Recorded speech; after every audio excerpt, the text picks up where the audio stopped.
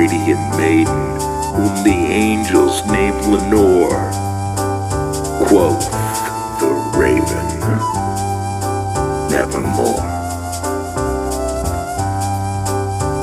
Be that word our sign of parting, bird or fiend. I shrieked, starting. Get thee back into the tempest and the night's plutonian. Leave no black plume as a token of that lie that soul hath spoken. Leave my loneliness unbroken with the bust above my door. Take thy beak from out of my heart, and take thy form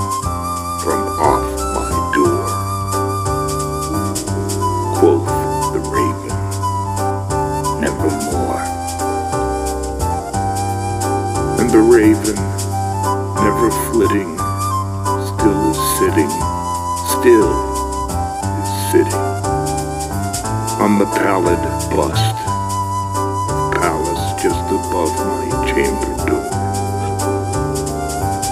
And his eyes have all the seeming of a demon's that is dreaming.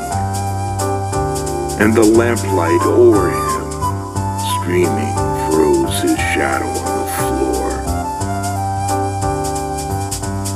my soul from out that shadow that lies floating on the floor shall be lifted nevermore.